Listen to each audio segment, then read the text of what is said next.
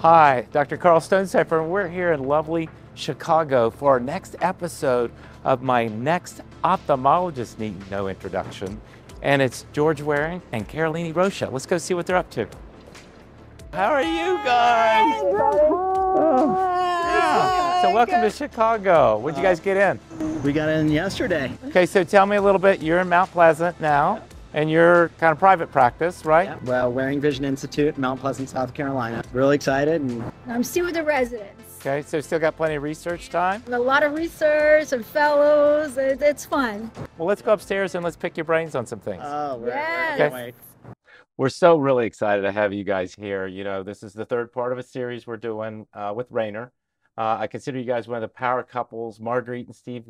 You know, we've got Bill and Jen, and and now you guys are, are going to talk about some of your research, you know, some of the things that go along. So I know you're a power couple, and George, she did get higher OKAP scores. So is she the smarter one of the? Because I know she like, you know, maybe has more publications than you and I. So do I ask her the tough questions and you the easy ones, or what? Totally. Yeah. So, and I, but I have to say about you, I always consider, you know, obviously I know your dad, he was part of my career, and I always consider you the guy that took the company over and ran with it and made it even better than what it was before. So, you know, I have a lot of respect for you as well. But I think for the most part, let's kind of dive in. And the first thing I would like to talk about is I think you've never used the Rayner before, have you? That's right. Yeah. And have you used the Rayner lens before? Yes. Okay, so you're doing some clinical studies with the Rayner. How are we going to convince George that this is the lens, and maybe who's the patient you're going to put this lens in? I think we need to go back a little bit and tell about the story, right? Okay. Because I remember we always had spherical lenses. Right. And then I remember 2005, 2007, we all moved to aspheric lenses to correct for the corneal uh, spherical aberration. And then perfect, you have really perfect vision, but then we saw we were losing a little bit of that depth of focus. Right. So then finally, and I, I yes, I did some research in the past. but I- 2009, I think, was when you published that first paper. Yes, and then um, uh, just after you, that you published, you know, the series in uh, laser vision correction refractive surgery, showing that you know that that perfect amount of uh, um, spherical aberration that can uh, keep your distance vision without compromising the depth of focus. So, and I think that the, the lens is here now. Right. Finally, right? So that you have that really perfect amount of spherical aberration that uh, we call now this uh, new generation of monofocal lenses, uh, right? So with uh, this monofocal plus lens, that is it's uh, fantastic. We're very excited. So, George, that's a great point that she makes. You know, we're now talking about what do we call these lenses? Do we use trifocal, extended depth of focus lenses? They're monofocal plus lenses.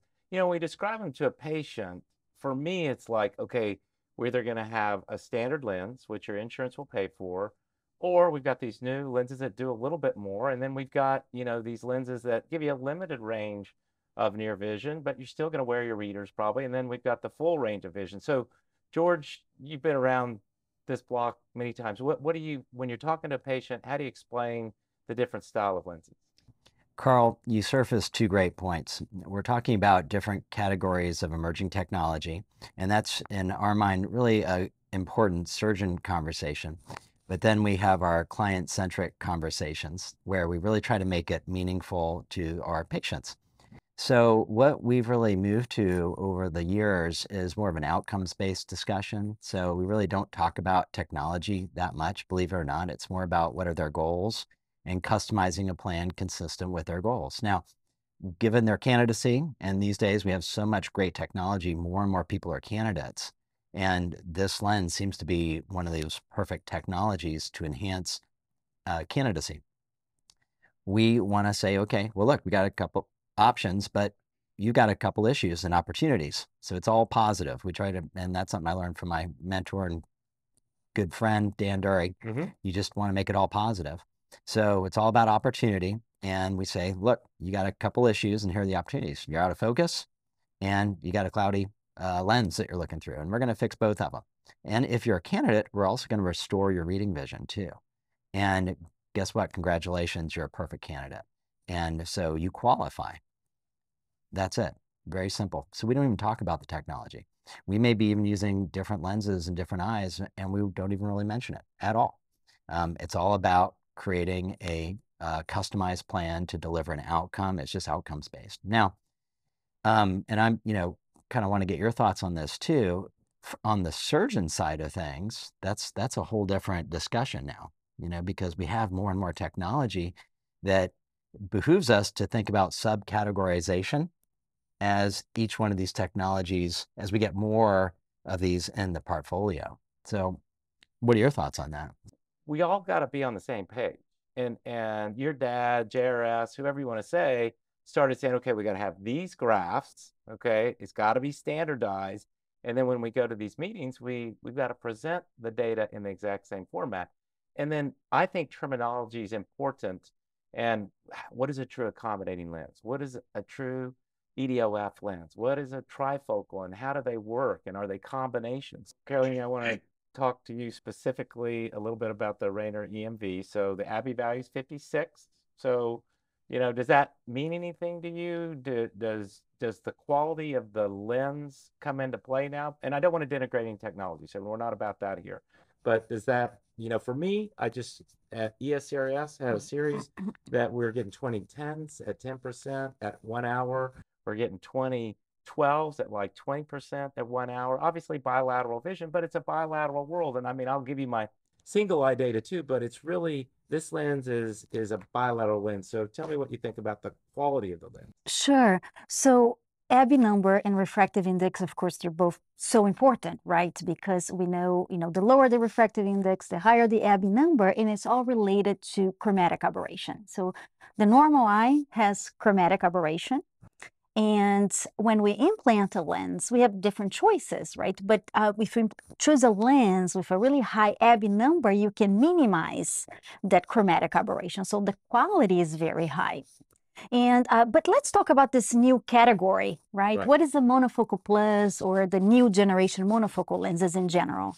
Um, uh, first, patients. Who are the best candidates? and Of course, any patients that are having a monofocal lens, normal eyes, but also eyes that are not perfect eyes for diffractive technology, right? So patients with severe dry eyes or macular issues. And now we have a premium option with this monofocal category. Right.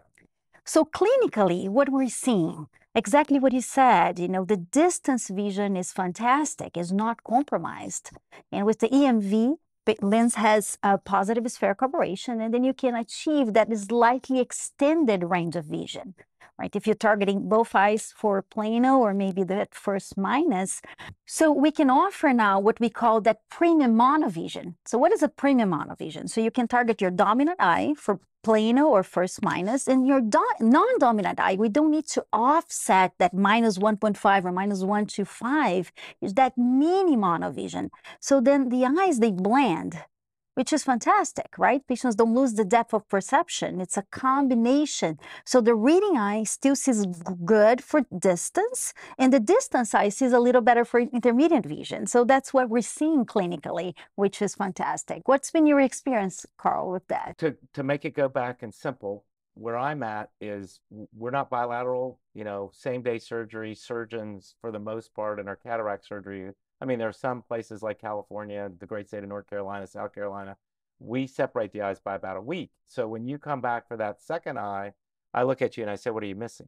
So can you see your phone? Can you see your computer? Can you put makeup on? I mean, it's kind of an intermediate world. And I see so many patients now that say, you know, I don't mind wearing glasses, doc. But a lot of these people, depending on what you just defocus this Rayner lens, they're doing just fine without glasses. And then the other interesting point, if you look at a lot of our friends who remain nameless, that'd be a little bit of a HIPAA violation. Um, a lot of them are choosing monovision. They're not choosing the trifocal lenses. They're not choosing uh, what we're calling extended depth of focus lenses. So I think in terms of of that, you know, where are you seeing your dysfunctional lens syndrome patients showing up now? Are they coming in at 40 and 45? Because that's what I'm seeing in my LASIK patients. More mainstream stuff, yes. 50 year old um, any hyperopia, we're typically, and not everybody is the same, but we're really looking at lens replacement, and that's a stage one dysfunctional lens as we described. Um, and um, but even in the late 40s, if there's any hyperopia at all, we're typically moving towards a lens-based procedure. And of course, stage two, if there's opacity, then we're fixing that in addition to the focus issues. So then it's lens replacement um, very most commonly, and then of course stage three, which is a manifest cataract. Then of course that you you're, you have to really do a lens-based procedure. So he and Dr. Chang kind of wrote the chord mu kind of, you know, where we are now. This lens, we don't have to worry about that in terms of the big picture. I mean, obviously, some of these other lenses, maybe we look at things, but some people are discussing that chord mu doesn't maybe matter as much as we think. What What do you think? I know he wrote the paper, but I'm asking you a question. I know. I think for diffractive optics, I'm still caution. I look. I look at that. You know, again, that uh, 0.4 greater than 0.3, but mostly for diffractive optics. And are you lining Purkinje one and four at the end of the procedure on on these type of lenses? Yes, yes. But again, for a monofocal plus for this new category, I really don't think is an issue. Okay. And and what about you? Any other thoughts on chord mu these days? Well, I think we're learning a lot more about it. I mean, this we wrote that paper um, almost eight years ago, um, and the interesting thing about that exercise was that it was really difficult to prove it clinically that it made a difference. But um, uh, through all of our work over the last decade on small aperture optics, we knew 100% it mattered. I mean, we would um, we could recenter a small aperture optic in an eye and you could immediately see improvement in distance and reading vision by five lines. So we know that there's uh, these things can matter, but of course all the optics change and its impact on centration changes. But fundamentally, we know that centration matters. And but we do have new emerging data, um, but it may be a little bit more subtle than we thought. You know, things like coma, and that kind of makes sense. I mean, if you think about internal coma with a decentered diffractive optic or a zonal optic of any sort, then yeah, you, it, it it absolutely can make sense. But then the same stands to reason if we have a um, maybe an aspherically neutral uh, lens, then it's also been shown to have less impact on centration or vice versa. You're working now with the Rayner EMV. You're doing, you know, new technology, new techniques, new emerging technology and techniques. What are you excited about for the future of ophthalmology? I think, you know, of course, I have a really a passion about IOLs and optics and IOL designs, and it's really nice to see how we go more and more. We have a lot of options, and it's always I, I like to say, you know, the science, you need to understand the technology and match the technology to the patient needs, right? Exactly what we're talking, uh, you know, listen to the patients, the hobbies. And I and I'm excited about this new category because, you know, I think you can all the general ophthalmologists can use this lens. No concerns about dysphotopsias, right? That dysphotopsia profile, it, it's it's uh, very sim it's similar to a monofocal IOL. Well, it's amazing, just getting back from Europe, that we're still so low on this category, but patients still have the need. And so that's where it's another tool in the toolbox for me for the Rayner EMV. It's given me more patients that are happier with their outcomes and they're, you know, maybe not spending as much money. I still am a big femtosecond guy. I know a lot of people aren't. That's a very controversial thing. But before we go, you think you're going to try the Rayner EMV when you get back or where you at? Yeah, absolutely. You know, um, this is a technology we've been looking at very carefully. Um, and uh, in our surgery center, it takes a consensus, uh, like any surgery center, to be able to bring in a new technology. But we're very interested. We um, uh, have um, love the optics. But I think the thing I'm most excited about, perhaps, is we've never had a a great solution for um, for prolate corneas or hyperprolate corneas. And um, we've used an, an aspheric neutral uh, platform in the past. But I think this, um, further to our discussions, could have some therapeutic advantages uh, for these hyperprolate corneas that I think is really, really exciting. And then, of course, all the other opportunities that you all outlined beautifully. You got any last comments? You're the smartest person in the room. So I think, you know, again, we need to go back and try. I'm very excited about this new category of mm-hmm. lenses. Again, you can offer a premium option for patients that didn't have any options before. Economically speaking, or, or whatever. Exactly. In terms of their anatomy or whatever. Well, I want to thank you guys for taking your time out while we're here in this lovely city of Chicago. I hope you guys enjoy it, and we'll see you around at the meeting. Thanks. Thank you. Yeah, yeah. Now I got to decide Do I go Cubbies White Sox? Where are you going? You go to a Cubs game. Deep dish pizza, and Lou Malnati's pizza. Deep dish. regular pizza, or do I go for a River Rider? Hey, can you tell me where the MoMA is? I hear they got a great exhibit. I think I'm gonna do that.